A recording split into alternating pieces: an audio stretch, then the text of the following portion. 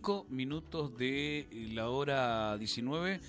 Ya cae la tarde en Presidencia Roque Peña, empieza a oscurecer, empieza está refrescando, está linda, está, está linda, está muy agradable la tarde eh, aquí en nuestra, en nuestra ciudad y bueno, obviamente esperando por las lluvias como también eh, a gritos, ¿no? La, la gente, los habitantes de las altas sierras, de Punilla, eh, de otros sectores de Córdoba que están pidiendo por la lluvia que por ahora no llega y sigue eh, lo que le juegan contra es el viento. Estaba viendo algunas imágenes también eh, de algunas casas, que, sectores que han perdido todo y que la verdad que las imágenes son muy tristes, muy tristes. Bueno, hasta la hora 20 lo vamos a acompañar aquí en el equilibrio de la balanza junto al doctor Aldo Daniel Ávila. Recuerden, si quieren dejar sus mensajes, lo pueden hacer al 3644. Eh, 755500 3644 755500 Doctor Aldo Daniel Ávila, ¿cómo anda? ¿Cómo estás, Gustavo? Bien. Sí. ¿Complicado la garganta? De, de regreso, sí, estuve. La verdad que. En realidad no sé. Eh, no, no sé qué es lo que tuve, pero toda la semana pasada la, No, no estuve. No la pasé muy bien. Qué, qué, complicado es cuando tenés tos, no podés estar, no, no te deja tranquilo, no, puedes trabajar. No, era, no, era, solo la tos, además tuve fiebre, tenía fiebre. Y, Algo virósico, ¿no? Y, Mucha gente anda así, ¿eh? El tema es que me hicieron una, una batería de estudios y, y todo me dio bien y lo, y, y, lo demás que apuntaba a dengue, a gripe A y a todas esas cosas eh, me dio negativo. Fueron descartando todo eso. Sí, que en definitiva no sé qué es lo que tuve, pero algo tuve.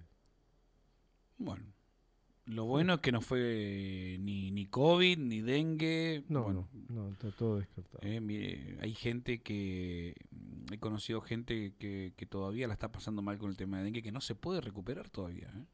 Sí, hasta un mes dicen que, que podés estar con dengue. Bueno. Y después pero después las secuelas, ¿viste? Exactamente. Ese, ese, ese es el tema. Bueno, feliz cumpleaños, ¿eh? Gracias, gracias, ¿Mm? gracias. ¿Cómo, cómo, ¿Cómo la estás pasando? Bien, bien. Eh, a pesar de que hoy no hay, no hay festejos, hoy ceno con, con mis hijos, pero... Pero ya es un festejo. Sí, lo, lo bueno de, de, de, estas fechas es un poco eh, cómo te reconcilian con la vida. Y te reconcilian con la vida porque eh, anoche después de la medianoche ya comencé a recibir. A eso te iba a decir. Primero tus hijos ahí. Sí. ¿Eh? Y Pasaron segundos de las 000 horas. Sí, ya comenzaron ¿Eh? a ingresar los, los saludos, los llamados. Y hoy, desde antes de las 6 de la mañana, también. Y durante todo el día. Eh, fue una, una constante. Y, eh, o sea, WhatsApp, en, en, en, las redes sociales, este, llamados telefónicos. Y, y, y la verdad te digo, este, eh, sentís que, que, estás en la consideración de, de, de mucha, de mucha gente, ¿no? Exacto. Y, y, donde vas te saludan y te dicen, eh, que... así que mm, está bueno, está bueno. Y está bueno, como digo yo, celebrar la vida. Va, no, no es una frase mía, pero te voy a decir, corresponde celebrar la vida y corresponde agradecer y que, que, que cada día que uno tiene la posibilidad de festejar un año más y, cada día de, vida y, confirmar que todavía uno tiene sueños por cumplir, este, metas por, por alcanzar y, eso es lo bueno. Y gente eh, a quien querer y gente que te quiera y estás rodeado de, de, de, de, gente con la cual seguís creciendo, seguís aprendiendo y eso es lo bueno. De todos los eh, cumpleaños, son todos diferentes, ¿no? Pero sí. hay alguno que vos decís, este me quedó marcado porque la verdad que la pasé de 10, me, algo, algo te, algún, algún cumpleaños te dejó que hoy, al cumplir años hoy, decís, ¿te recordó ese, ese día, esa noche o esa fiesta? La verdad, A mí me pasa. La verdad no, no, no no, no, tengo presente uh, un, un, un, cumpleaños en particular que, que yo diga sí. esto fue algo este sí hubo un cumpleaños que, que un cumpleaños que, que fue una sorpresa que me dieron toda Ajá. mi familia por entonces. Y, y en el que estuvo el doctor Humberto. Justo te estaba por decir eso. Sí, ¿Hubo algo? sí. Y este y bueno y, y- y de pronto me todos este se pusieron de acuerdo y, y me sorprendieron con una fiesta sorpresa, valga la redundancia. Y eso sí, eso me, me- me acuerdo mucho. Hoy es tu cumpleaños, pero también eh, vos decís, che, se acordaron de mí, pero vos también te acordás de las personas. Por supuesto, y yo respondo todos los saludos. Yo agradezco todos los saludos. Pero te acordaste del turco. Sí, por supuesto. Por supuesto, además me- Porque me- seguramente esta noche van a estar tomando un un champán, quizás. Totalmente, totalmente. sí. Como todos los cumpleaños. De él y el mío. Claro. Bueno, así que quedan unas horas todavía para... ¿Te acordás qué hora naciste? Creo que nací. Porque dicen que desde ahí recién se puede decir feliz cumpleaños, desde la hora del nacimiento, ¿no? Creo que nací a la madrugada, sí, creo que nací en horas de la mañana. Bueno, No, no, no, no estoy muy seguro, pero cre- creo que es así. bueno. Así que bueno, Así que te quedan unas- unas horas más para disfrutar y, y compartir, ¿no? Porque yo siempre, yo digo esto, ¿no? No hay que ni ponerse mal, ni, ni decir, uy, un año más, ¿no? Gracias a Dios es un año más. Porque ¿cuántos van quedando por el camino? ¿no? Nosotros tenemos la fortuna de poder seguir cumpliendo años, ¿no? bueno, ese, ese es el punto, ¿viste? Por ahí yo siempre digo la, la, la filósofa de la vida, ¿viste? Que tiene la, la Argentina, que, que un poco en broma, pero un poco en serio, que Mirta Legrand que dice, eh, lo digo en broma, ¿no? Pero di- ella dice, "Eh, es mejor cumplir años que morirse. Sí. Es así, ¿no? Y es así, te, te pones a pensar y es una, una, una frase inapelable. Es mejor cumplir años. Sí, Mucho la verdad que sí, eh, sí. sí, sí, sí. Pero bueno, eh, ¿qué es eso? Es, es lindo, es lindo porque como decís vos, hay mucha gente que te saluda, hay mucha gente que sabes que te quiere y siempre es bueno poder saber un poco más de eso, todo eso, ¿no? Sí. Y a- pero no siempre solamente aparecen en los cumpleaños, sino que todos los días. están. No, no, no, no, por supuesto. Este, sigo recibiendo mensajes. Pero este, te quiero significar eh, de gente que está escuchando el programa. eh, eh, es bueno. Es bueno que te recuerden, es bueno sentirse considerado y, y por eso es, es bueno el ejercicio también de saludar a la gente que uno aprecia, en, no solo para los cumpleaños, sino para determinados días en que se festejan este, ya sea la profesión, determinados acontecimientos. Es bueno saludarse, este, considerarse, eh, es bueno, es bueno. Y uno va aprendiendo con la vida también que esas son cosas importantes. A donde, a donde te salvás y acá te mato yo. Donde te salvás es en el, porque no hay día del abuelo, creo. Ahí sí que no te saludan, ¿eh? No, no, todavía no. No, pero hay día del abuelo. Hay día sí, del abuelo, vale que hay. Sí, sí. Creo que, la, que las dos únicas personas que me saludan son mis dos nietas. sí. Vos sabés que yo estoy Mis pensando en eso, dije, que no me vayan a, soy joven, que no me vayan a decir abuelo, porque... bueno, eh, Dani, eh, feliz cumpleaños nuevamente y bueno, y toda la gente que te quiere saludar, están abiertos los teléfonos, pueden dejar sus mensajes, así que la gente te quiere mucho, más allá de que no se expresa, nos escuchan también. Sí, ¿eh? sí, sí, sí. Más allá de que no escriben mensajes, seguramente también están. eh, es una manera de retribuirte, ¿no? De que nos escuchen, de que te elijan y de lo importante que, que es eh, el programa este y cómo, cómo lo manejas vos. Y eh, eso yo creo que, que también haciendo, digamos, un, un repaso de todo, Sí. Eh, digamos, como haciendo un stop en la vida, eh, también te pones a pensar, y el programa este es un programa que, por supuesto, siempre lo digo, no, es, no fue idea nuestra, nosotros somos continuadores de algo que, que lo inició el Humberto, pero es, eh, ya es eh, un clásico de, de Saspeña, Ujú. y yo creo que, que muchas cosas todo el mundo sabe que pasan por, por este programa.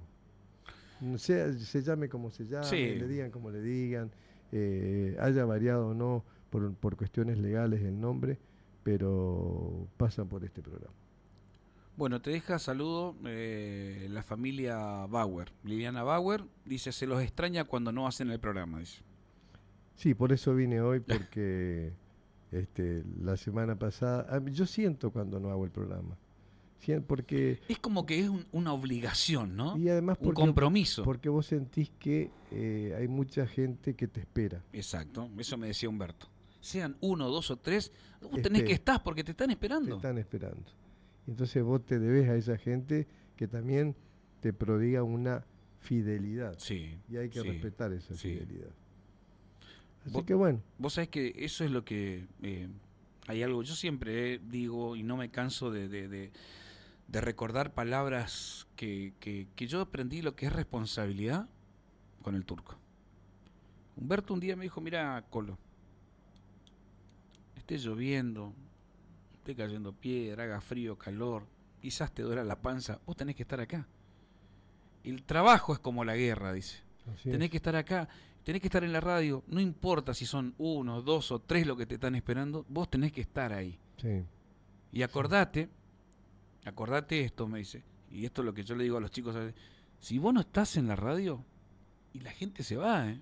Y después es difícil poder traerla de vuelta. sí, sí. El tema del dial, sí, sí. ¿eh? A pesar de que hoy se escucha a través de otros dispositivos, pero este, uno cuidaba su lugarcito en el dial. Sí, sí, sí, sí. Eh, me dice, no hay que darle lugar. No hay que darle lugar a otros. Vos tenés que estar fiel. Y bueno, gracias a hoy yo siempre lo recuerdo. Siempre, cada vez que me recuerdo la responsabilidad que la aprendí gracias a él. Gracias a él. ¿Viene de, ¿viene de familia? Sí. La reforzó el turco. Cuando me un día que yo me hice un poco el aragán eh, y me dijo, mira, acá esto es como la guerra. Y bueno, hasta el día de hoy, gracias a Dios, lo recuerdo y, y- y lo pongo en práctica también y, Y y hago bueno. todo lo posible. Es bueno. Esas son las enseñanzas de la vida. Está bueno. Bueno, a ver qué dice. Muchas felicidades para el doctor Ávila. Bendiciones, dice Tere. ¿eh? Está bien. Gracias. Gracias a todos los que saludan. Muchas gracias. Bueno. Bueno, ¿continuamos, le parece? ¿O arrancamos? Eh, ya- Arrancamos. Sí. Escucha, eh, porque este, el 19 y 20 de septiembre, ahora jueves y viernes pasado, Ajá. se llevaron a cabo en Rosario eh, un congreso de jueces de ejecución penal. Los jueces de ejecución penal son los jueces que se ocupan eh, del cumplimiento de la sentencia, el cumplimiento de la pena de los... El que decide, ¿no? No, ellos toman intervención una vez que la persona está condenada. Está condenado. Entonces ellos controlan el cumplimiento de la pena, la progresividad de la pena, la evolución, Bien. la, reso- Bien, la bien. re- eh, resocialización de la persona. O sea, tiene una función muy específica el juzgado de ejecución penal. Pero a raíz de que me puse a leer este comunicado que me lo alcanza un amigo, te voy a contar nuestra realidad. Primero te lo voy a leer al comunicado, después te voy a contar Dale. cuál es nuestra realidad carcelaria y cómo es el tema de la población, este, ya sea procesados, ya sea condenados, y, y- porque son temas que mm, de repente no, no se tratan a- con habitualidad y son muy importantes y la verdad te dan miedo Sí. te dan miedo.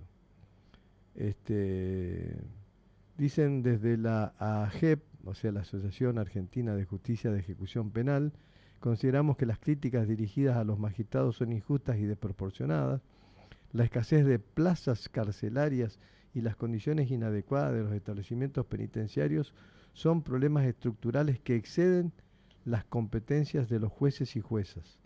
No se puede ni debe atribuir a ellos la responsabilidad de la crisis carcelaria que atraviesan las diferentes provincias de nuestro país y los jueces y las juezas de ejecución penal trabajan con el compromiso de garantizar el cumplimiento de la ley y el respeto de los derechos humanos dentro de los márgenes establecidos por el sistema judicial y el contexto carcelario en el que operaban. Culpar a los magistrados y magistradas por la falta de infraestructura adecuada es desviar la atención de las causas reales del problema, cuya solución requiere la intervención de los poderes ejecutivo y legislativo, o sea, de todo el gobierno. Cabe recordar que los lugares de alojamiento carcelario están bajo la órbita de los gobiernos provinciales y nacional, que son los responsables de garantizar condiciones de detención dignas y acorde con los estándares constitucionales e internacionales. Denunciar juezas y jueces no solo distorsiona la realidad, sino que también obstaculiza los esfuerzos para encontrar soluciones profundas a un problema que afecta a la sociedad. Bueno, y este comunicado del 21 de septiembre del 2024, firmado por la comisión directiva de esta Asociación de, Magistrados de, la Justicia de Ejecución Penal, eh, es, mucho más extenso, pero no, no, lo voy a leer completo, eh, revela eh, una, una situación crítica realmente nosotros, por ejemplo, te cuento, en Cespeña, eh, actualmente el complejo penitenciario debe tener alrededor de 380, 400. Sí, se estaba queriendo ampliar aparentemente, ¿viste? Eh, condenados. Que es la capacidad total, la capacidad actual. Digo la capacidad actual porque eh, el complejo penitenciario tiene dos módulos que están en reparación, dos módulos que se deben reparar. Este, y esos dos módulos significan casi 100 personas. Para que los presos tengan un poco más de comodidad. Bueno, para eso se está, las cárceles son para seguridad, para sí, seguridad exactamente. Sí, sí, sí. Este, entonces vos tenés un, un complejo penitenciario que se construyó en su momento, que eran 11 módulos para 50 personas aproximadamente, estimativamente, porque después ellos acomodan y reacomodan y ubican y reubican a los condenados. Este, de esos módulos hay dos, o sea que 100 personas que están en reparación ya hace rato y por lo tanto la capacidad del complejo está colmada.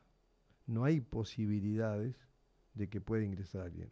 El juez de ejecución penal tiene que pedir con tiempo autorización para que le digan si puede o no hacer uso de alguna plaza dentro del complejo y actualmente todas son este, respuestas negativas porque no hay lugar. ¿Y entonces? Y entonces, y entonces... ¿Quién se hace cargo? ¿Las comisarías? Las comisarías, exactamente que ya no se puede. Alguna vez dijeron que ya no podía haber más detenidos en las distintas comisarías. Bueno, en las comisarías hay condenados y procesados. Ya hay condenados. Hay condenados y procesados. En la provincia del Chaco, en toda la provincia, entre condenados y procesados, vos tenés más de seis, más de 1.500 presos. Más de, más, perdón, más de 1.100 presos en toda la provincia. ¿Cuántos hay en Cespeña? No lo sé. Exactamente, no, no, no tuve tiempo de averiguarlo, no, no, sé qué cantidad de presos condenados y procesados hay en Espeña. Pero este, hay que decir que eh, también esto conspira contra la, la, posible resocialización de una persona, porque una persona es detenida, va a un complejo penitenciario y comienza a cumplir su pena y comienza a, transitar la progresividad de esa pena. O sea, vos este, comenzás a dedicarte a determinadas cosas, a hacer ciertos estímulos, aprendés un, arte, una profesión, este, determinados cursos que te van este, eh, forjando, que te van determinando ciertos, ciertas características de la personalidad.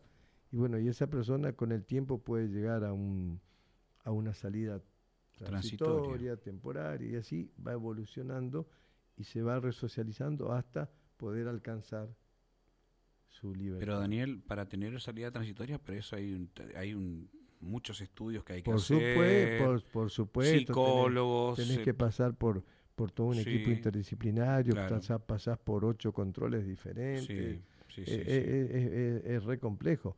Pero te quiero significar que una persona que está en una comisaría no tiene ninguna posibilidad de hacer esa progresividad de la pena. Y ahí están, digamos, las condiciones son inhumanas. Ahí están directamente eh, en, un, en, un calabozo. Y esa persona, eso eh, lo pone peor. Tampoco hay, no hay ninguna posibilidad de, de, canalizar ciertas energías o ciertos pensamientos o cierta forma de, haber eh, comprendido la vida. Todas esas cosas, este, te digo más, eh, vos tenés que dentro de, o en el juzgado de ejecución penal funciona el patronato de liberados. El patronato de liberados se supone que tiene que brindarle ayuda postpenitenciaria a los presos que alcanzan la libertad condicional. En Cespeña no, no, no, hay nada, no hay ni personal, porque el patronato de liberados depende del Poder Ejecutivo y no designan personal. Se están manejando con, con ordenanzas que, del, juzgado de ejecución penal.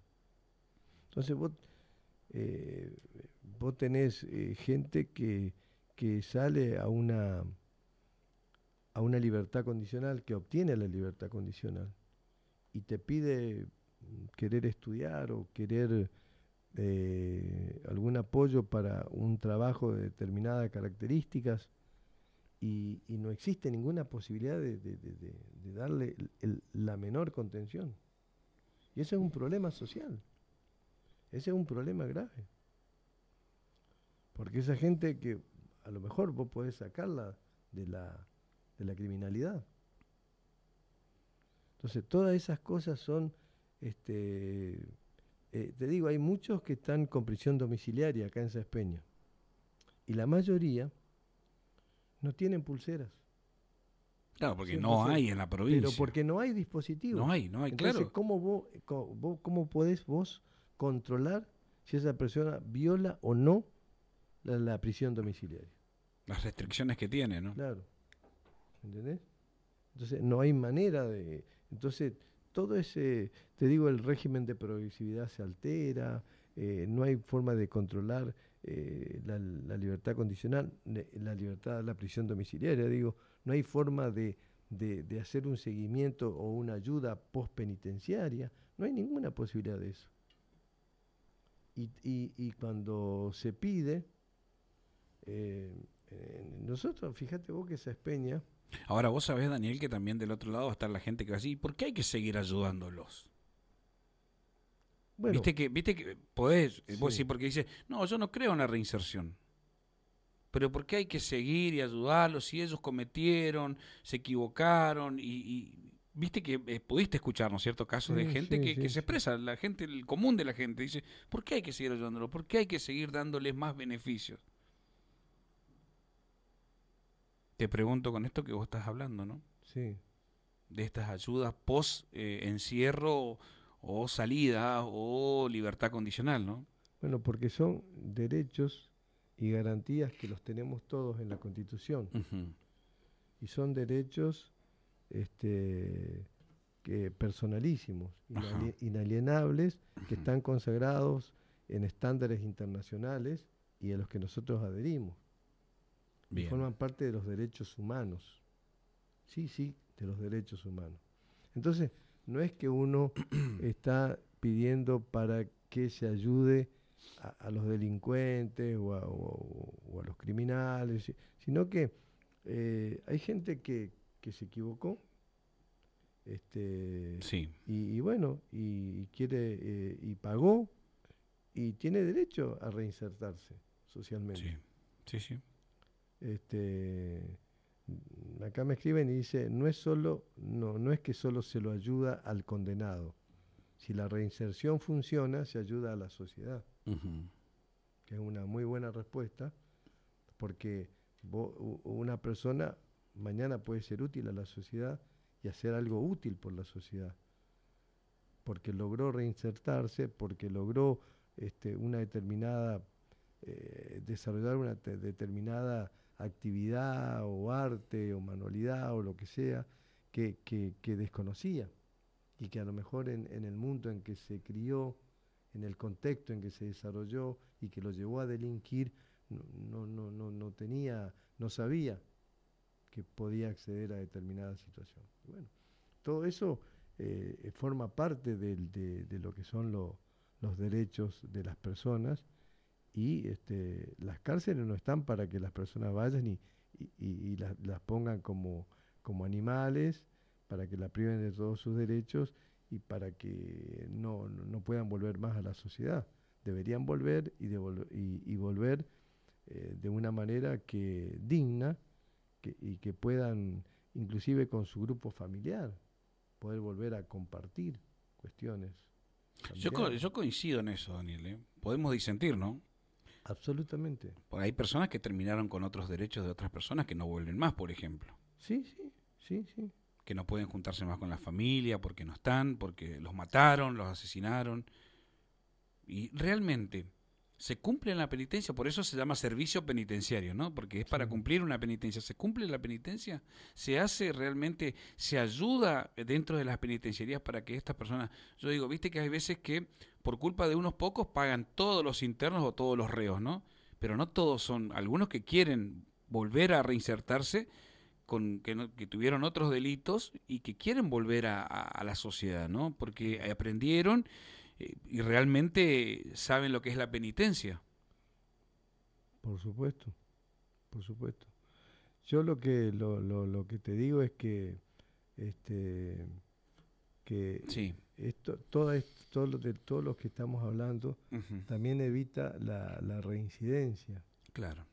Y nosotros en nosotros tenemos eh, tanto en el país como en la provincia altos índices de reincidencia. Y esos índices de reincidencia, o sea, yo no voy a entrar en una cuestión que se la ideologizó sí.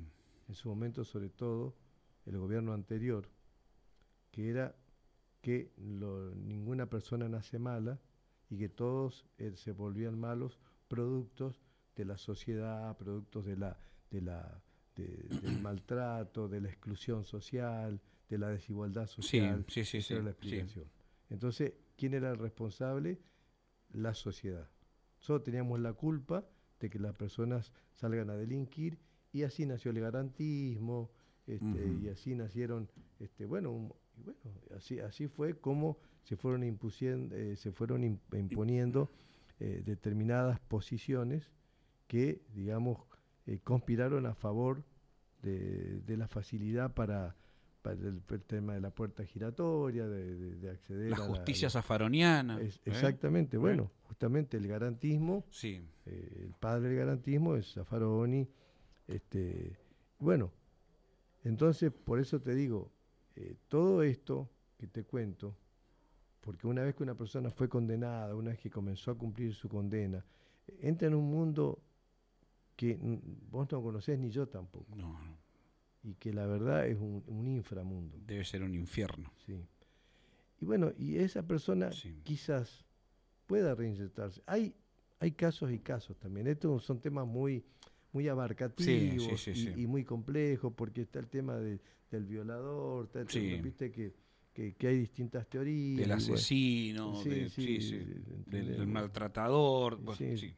que, que, bueno, que hay estudios que dicen no, no, no, no son recuperables, son Bueno, todo es opinable, todo, pero lo que yo te quiero decir es que cuanto más nosotros recuperemos a la mayor cantidad de personas que tuvieron que cumplir una condena y que la cumplieron y que tuvieron que pasar por ese tránsito tan horrible, tan feo que es un complejo penitenciario, eh, cuánto mejor para la sociedad es verdad lo que me estaban comentando porque también se, evita la reincidencia, porque, y bueno, es lo que algunos países serios y, desarrollados lo consiguieron, como los países nórdicos, que hoy las cárceles están vacías. Están vacías. Sí, sí, sí. ¿Entendés?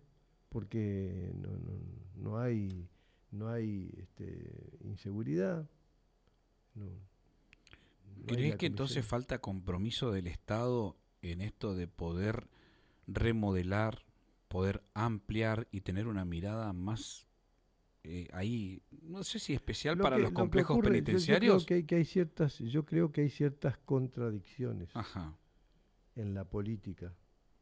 Y hay políticos muy poco formados para esto. para esto, porque son temas, como te dije, muy complejos. Que Sí. Inclusive yo me estoy animando a hablar, pero también sé de, mis limitaciones y que son cuestiones que podríamos invitar a, Y como a un decís, juez. Pero, eh, por ejemplo, lo- los diputados te están de- hoy, este, el ministro de, de- de Justicia del Gobierno Nacional están en la discusión de, de la baja de imputabilidad y, y que, los, y que lo- las personas sean responsables o sean punibles a partir de los 13 años. ¿Dónde van a poner? No, no tenemos dónde nosotros mandar esos chicos que entran en el mundo de la, delincu- de la delincuencia para que sean resocializados, que tienen que, que tienen que asistirlo con un régimen especial. ¿A qué instituto lo van a mandar? ¿A dónde lo van a mandar? Y entonces esos chicos van a una cárcel común y salen después de esa Peor. cárcel. Salen, salen con un máster, salen con un, con, una, con un perfeccionamiento, ¿viste? con una especialización en delincuencia. Salen con un doctorado. ¿Entendés? Entonces, todo está mal. Entonces, todo el discurso de la política es uno y la realidad es otra. La política no invierte en estas cosas porque estas cosas no se ven. Designar personal para el patronato deliberado, establecer una oficina que, que- que pueda vincularlos con determinados lugares en los que se necesite gente para que se vayan reinsertando a la vida social. viste que se habla de los containers, por ejemplo, también. Claro, exactamente. ¿Mm? Entonces, todo ese tipo de cosas, entonces vos decís, hay acá en Cespeña un complejo donde hay dos módulos donde eh, podrían estar alojados aproximadamente 100 personas y está en refacción y no funciona. ¿Cuándo va a estar eso listo? Y no sé. Pero como nadie cuestiona porque, viste, son presos, son, son criminales, son condenados, este, eh, pero son temas importantes para la sociedad, son temas muy importantes. Y nosotros tenemos, eh, eh, está bueno que, que- lo tratemos, está bueno que, que- lo visualicemos, que lo hagamos visible, digamos, porque eh, una persona puede después ser alguien útil, y te digo, bueno, y, contribuye en, en muchas cosas, pero bueno, t- todo eh, estas políticas, te, te digo, no, como no, no son populares, no, no, no generan votos, no, no están tan a la vista como otras cosas que sí forman parte del discurso para bueno este pero esta es una realidad Y las comisarías, Y las como así el comisarías. personal, no está preparado para el cuidado de internos o de presos. pero además en las comisarías vos corres el riesgo fíjate vos lo De escape, ¿no? que- lo delicado que es este tema para mí incluso hablarlo porque estas personas por ahí son personas que, que manejan determinado dinero, sobre todo si, si están vinculados de alguna manera con el mundo de la droga. Claro. Y entonces vos corres el riesgo de que en una comisaría ese personal puede ser, pueda ser corrompido por, por, un, por un ofrecimiento dinerario, por un montón de cosas. Ya pasó alguna vez, parece. Pasó, todo esto, hubo ¿eh? muchas fugas de, de comisaría. ¿Sabés de cuál me acuerdo? ¿Te acordás del... Bueno, yo lo hablo. Eh, ¿Te acordás del caso Almaraz? Me acuerdo perfectamente. Que después fue Que mató al recapturado. remisero A, los- este a Bernardi. A Bernardi. Dicen apa- que murió en Paraguay ahora. que- Sí. Sí, sí, sí, sí, sí. Sí, eh, bueno, eh, ese caso fue uno de los que dicen, che, se escapó tal día, parece que alguien lo estaba esperando, parece que lo- le facilitaron, le habilitaron, liberaron y se fue. Mm, Pero bueno, son cosas... eh, Mira, si entramos en el terreno de las suposiciones, en el terreno de... Viste que a- acá hubo una persona, viste que, bueno, acá tenemos un grupo de personas que están prófugas. sí, Sabemos quiénes son. Sí, sí, sí. El clan este, bueno. Algunos dicen que, que esta persona, el que lidera esa banda, viene y vino hace poquito a un sanatorio de esta ciudad Ah, mira. y puso un montón de plata y se llevó a su hijo, que estaba internado. Y nadie vio nada, y nadie sabe nada, y hay cámaras.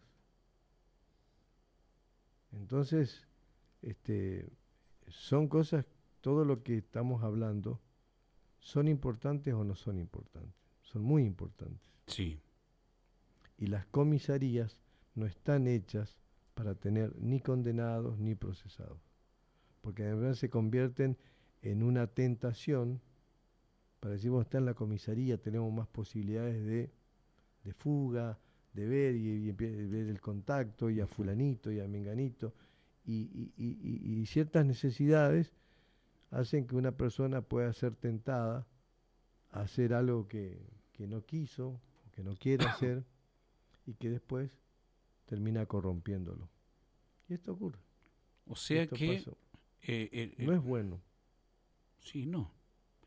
O sea que aparentemente este padre se habría llevado a quien participó de la muerte del profesor de la Juan 23. Exactamente.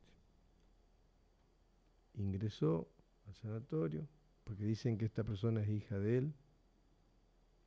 No es un hijo reconocido así con todas las de la ley.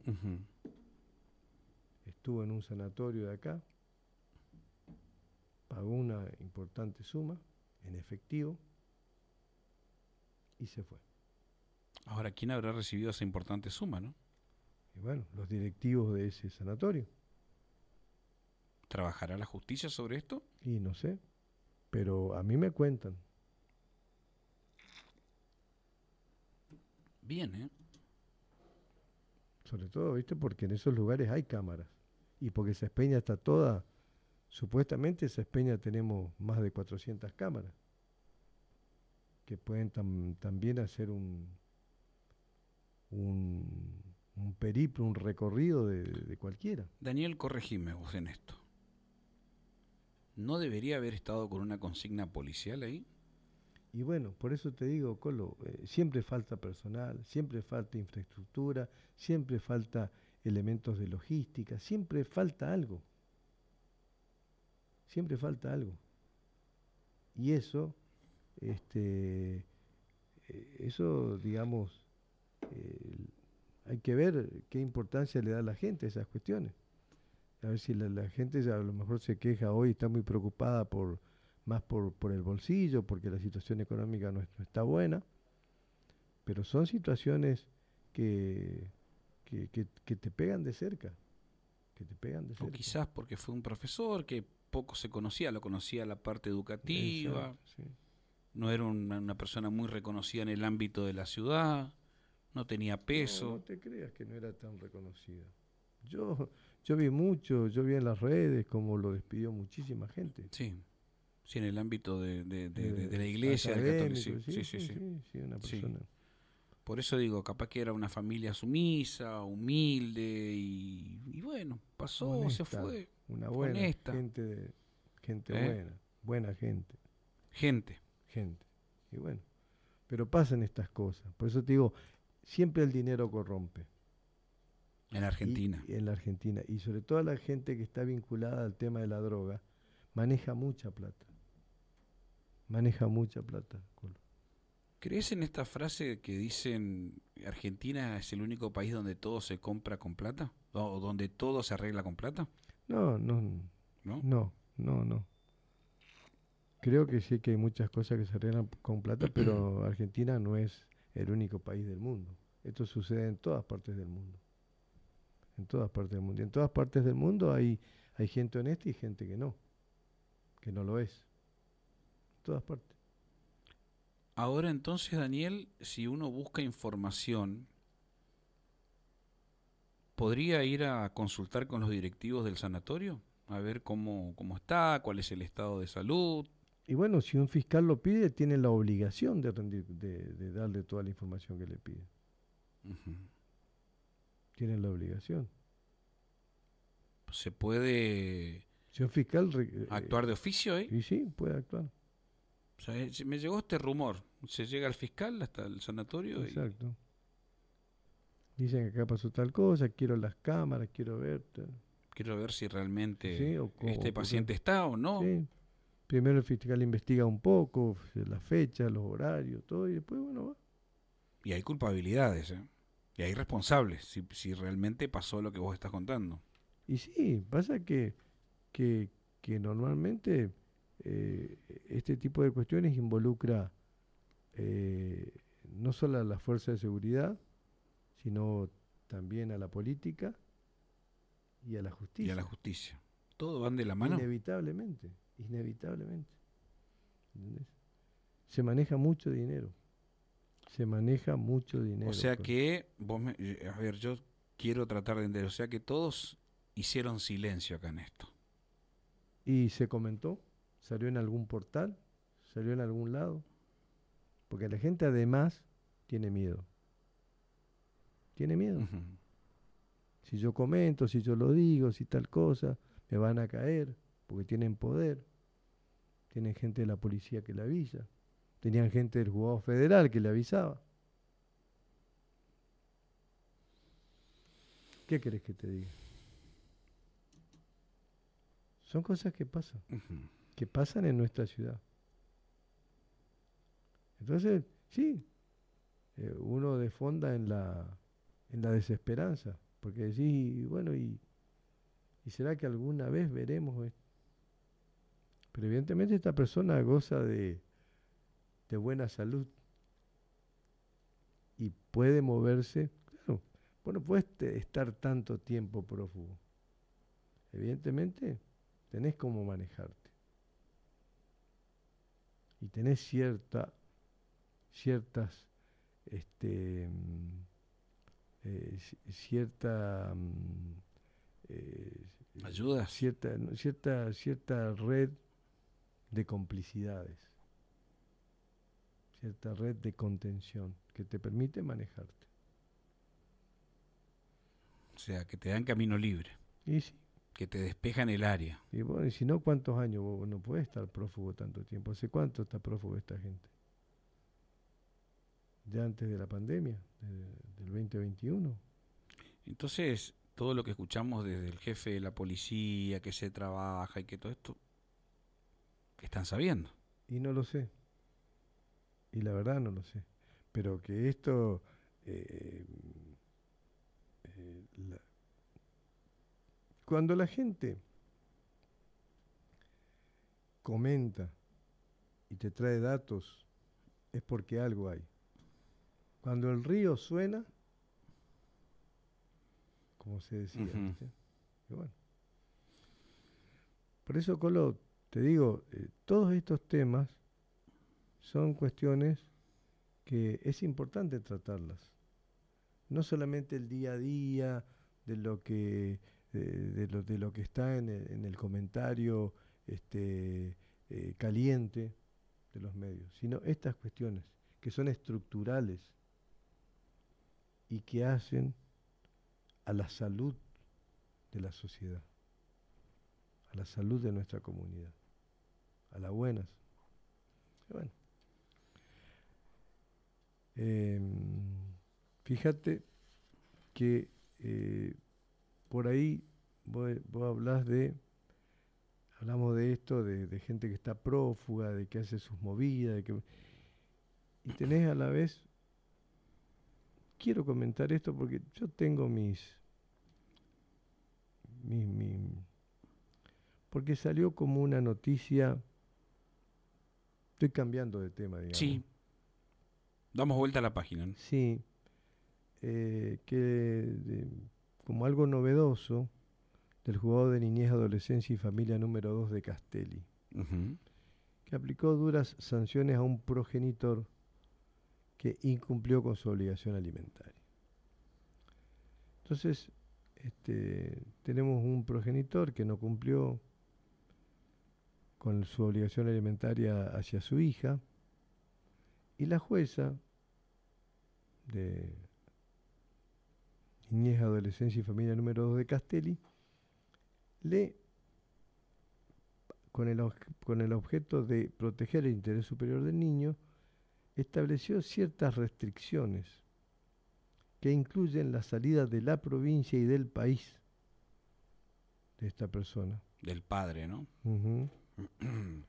y la prohibición de ingresar a un complejo deportivo, a los casinos y a los boliches. Bien amplio. Yo te digo, eh, yo estoy de acuerdo en que eh, esto lo, lo, estuve viendo de un artículo periodístico, pero de un portal serio, y sé que están hablando de, una jueza a la que conozco, de Castelli, pero yo estoy de acuerdo con, que a, muchos este, alimentantes incumplidores, este, morosos, se les prohibió el ingreso a, a, la cancha de fútbol, se les prohibió una serie de cosas que, eh, que están bien, que son aleccionadoras, pero yo no sé si impedir la salida, la salida de la provincia o la salida del país está dentro de las facultades de un juez por el incumplimiento de una cuota alimentaria. Exacto. no sé si eso no ingresa en el terreno en, se pone en contradicción con ciertas garantías que tenemos este, a nivel constitucional. Así que habría que ver cuáles son los límites de la de la jueza, ¿no? Por eso te digo, o sea, la nota dice por ahí se excedió que claro que tiene prohibida la, la salida del país y de la provincia y a su vez después todo lo que te comenté, que eso sí es probable, eso sí es razonable este, porque tiene que tener alguna algún reproche esa conducta. Claro. Pero eh, de ahí a establecer, no sé, que no pueda salir del país o que no pueda salir de la, de la provincia, me parece que hay un exceso. Este, más allá de lo reprochable la actitud de no pasar una cuota alimentaria a una hija, ¿no? Y no nos apartamos de eso, ¿no? No, no, no. Pero una cosa no quita la otra. Y bueno. Así que también me gustaría. Sí. Te iba a decir, Horacio Rosati fue elegido como presidente de, la Corte Suprema por tres años más. Exactamente. Exactamente. Que esa era la ambición de Lorenzetti. Ajá. ¿Cómo lo, Lorenzetti pensaba que si ingresaba al hijo, él iba a tener los votos para ser ungido presidente él de la Corte. Claro.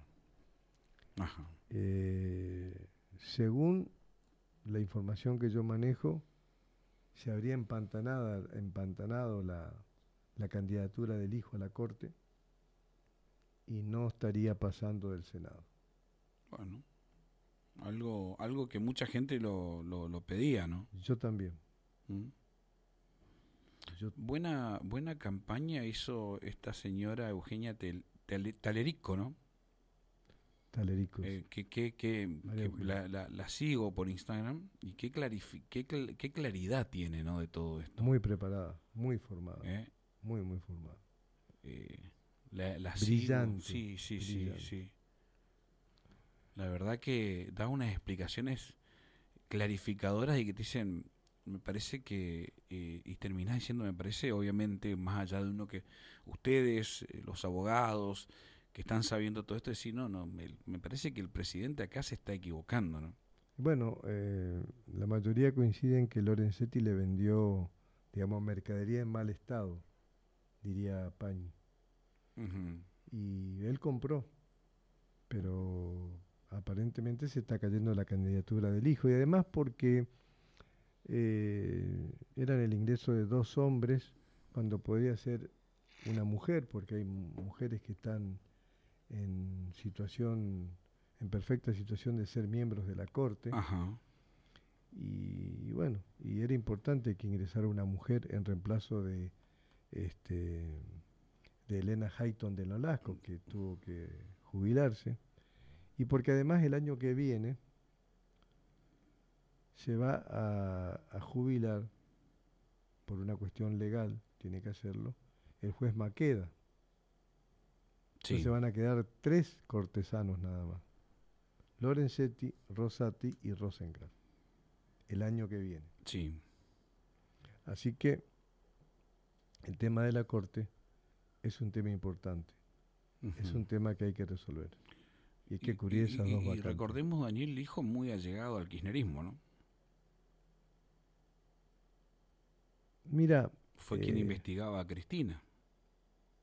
Quien investigó y quien demoró cuando quiso muchísimo las causas que quiso. Un gran operador. Exacto. Este, sinceramente, para llegar a la corte, eh, la persona que, que va a ser cortesana, la persona que va a integrar el máximo tribunal del país, tiene que ser absolutamente transparente. Su leajo tiene que ser inmaculado. Esa es la realidad.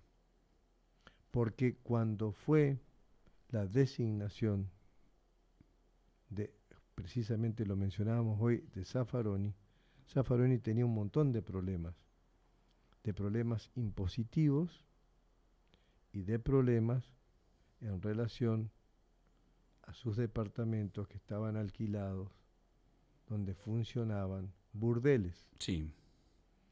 Sin embargo, esta persona, igual porque tenía apoyo político, llegó a la corte.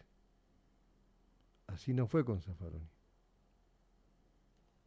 Entonces, por eso te digo, los jueces de la corte tienen que ser intachables. Intachables.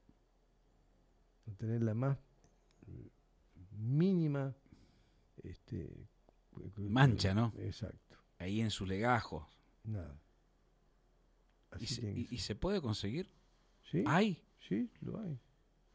Yo creo en Rosencraft. Yo creo en Rosati, en su honestidad. ¿En su honestidad? Sí, sí. Y en su capacidad. ¿En que nada lo va a corromper? Y hasta ahora resolvieron.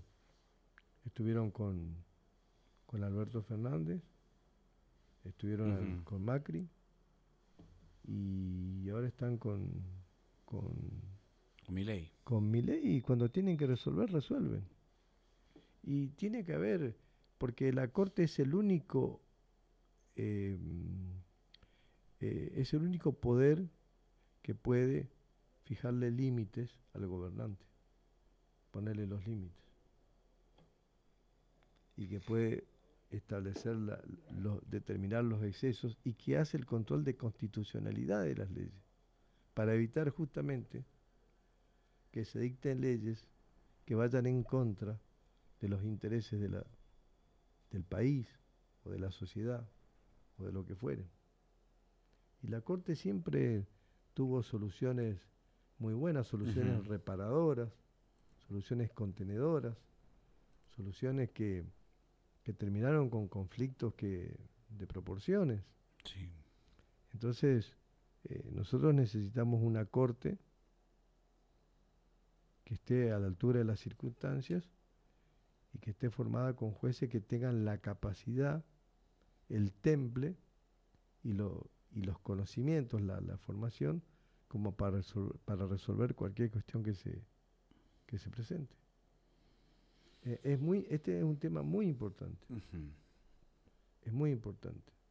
Va a acordarte que en el menemismo, la famosa mayoría automática, cuando Menem aumenta el número de, número de miembros de la Corte, y todas las leyes que iban y todo, todo lo que, todos los criterios que se fueron estableciendo, porque ahí todo se resolvía conforme Barra, que era el que manejaba la Corte en ese momento, Rodolfo Barra, disponía. Y, que, la, que la Corte dependa del poder de turno, del gobernante de turno, es peligrosísimo. Es peligrosísimo. Así que bueno, este, yo creo que, que Rosati, que la presidencia de la Corte está en buenas manos. Aparte, el presidente de la, de la Corte también integra y es presidente del Consejo de la Magistratura. Así que es un cargo muy, muy, muy significativo, muy importante. Bueno, eh, las 20, ¿que ¿tenía algo más? No, sino que ya no podemos tratar determinados temas. Esto se hizo, se hizo largo el tema, la cuestión esta de, de, los problemas carcelarios. Carcelarios. pero hay una cuestión que eh, te iba a hablar que son que tiene que ver con eh, el funcionamiento de un juzgado de familia en particular en Cespeña que han presentado unas notas de elevación al superior tribunal porque ya no solamente es la cabeza de ese juzgado sino que se va contagiando el personal y hay una falta de empatía con la gente que lo voy a desarrollar en el próximo programa. Y también otra cuestión que es importante. Sí. Y que es cómo está eh, creciendo y se está volviendo un drama tremendo la ludopatía juvenil. Qué buen tema ese. ¿eh? El nene de 13 años creo que se quitó la vida por este tema. Exacto. Pero vos sabés que, déjame, a ver, a ver si, a ver si puedo decir algo con respecto a esto. Porque estuvimos charlando con una persona que me acuerdo qué función cumple dentro de lotería, como diciendo que eh, los juegos, ¿cómo decir? Los juegos que tiene Lotería Chaqueña sí son aptos para que puedan consumir, los que venden otros no. ¿Entendés? Lo que te venden a través del teléfono, que no están registrados. Es como que eso, eso no hay que hacer. Y que lo que tiene Lotería Chaqueña sí te van controlando, te van midiendo para que no te vuelva supuestamente un ludópata. Finalmente todo es malo, Daniel, ¿o no? Absolutamente. Eso es lo que yo le dije, pero finalmente estamos buscando de tratar de sacar, porque los que consumen son jóvenes como grandes también, y me decís que lo que te vende lo, que te vende lotería, los juegos que te venden son los que están registrados, son los que supuesto a ver, lo entendí como, como que no te hacen tanto daño. Se están haciendo ciertas cosas, dicen que se van a pedir documentos, pero hasta se timbea en, en, Instagram. O sea, lo que te quiero significar es que así como hay chicos jóvenes que están incursionando, incursionando en el mundo del juego, también hay chicos jóvenes que te crean un sitio de apuestas. Clandestino, como sea, como quieras. Y entonces eh, se va potenciando esta cuestión. Es un fenómeno que hay que prestarle muchísima atención. Muchísima atención. Eh, sí, sí, la verdad. Eh, coincido con lo que estás diciendo y esto que va generando cada vez más adictos. Ahora, Vos me decís, Daniel, ¿y cómo vamos a eliminar si las camisetas de los equipos más importantes llevan las casas de apuestas? Y bueno, River y Boca tienen... Betson, eh, por, por, decir una. ¿Eh? ¿Y entonces? Y los equipos de todo el mundo. El Real Madrid. Big creo que tiene Real Madrid, que tenía, no sé El único que no tenía publicidad de ese tipo era Barcelona. Barcelona, tenía UNICEF creo que tenían ellos, creo, en su tiempo. Bueno, la verdad que yo sé si me quedé en la historia, pero este es un tema bastante para tocarlo y tampoco se ven, Daniel, de parte de los estados, gobierno provincial o municipal, no sé, políticas, políticas y también spot publicitarios, ¿no? Para crear conciencia de todo esto también. Claro. Digo, capaz estoy hablando pavada, no sé. No, no, no, pero vos ves en la televisión, Colo, a, voy a decir, al Dibu Martínez eh, y a un montón de, ídolos, ídolos totales de, niños, hacer publicidad de estos lugares, de estos sitios de apuestas, con la determinada salvedad de que los chicos... pero que es perjudicial para la salud. Pero cuando se, vos querés hacer ciertas cosas, lo haces.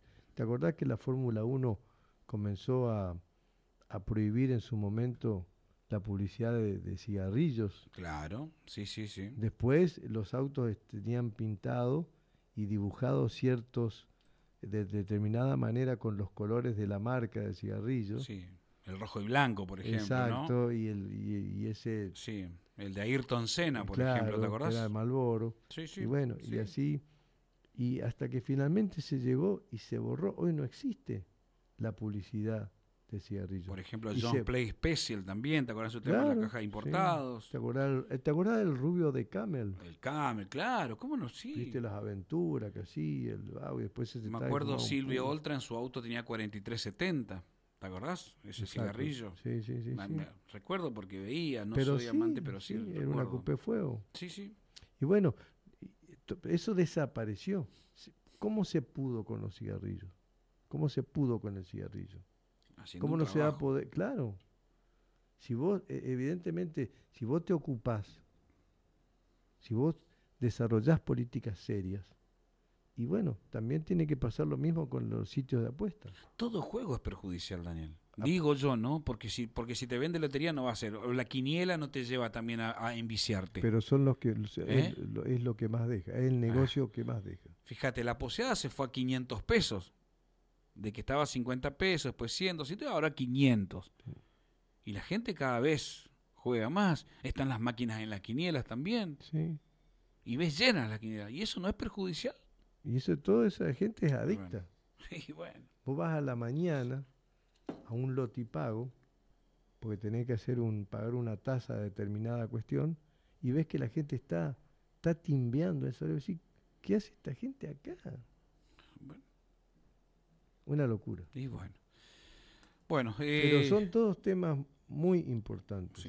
Y tendríamos que invitar a, gente preparada que nos pueda dar una mirada desde el punto de vista, desde un punto de vista más profesional, quizás, más específico. Pero son temas que le incumben a la sociedad. Y sobre todo a los chicos. Bueno, ¿nos vemos el jueves? Nos vemos el jueves.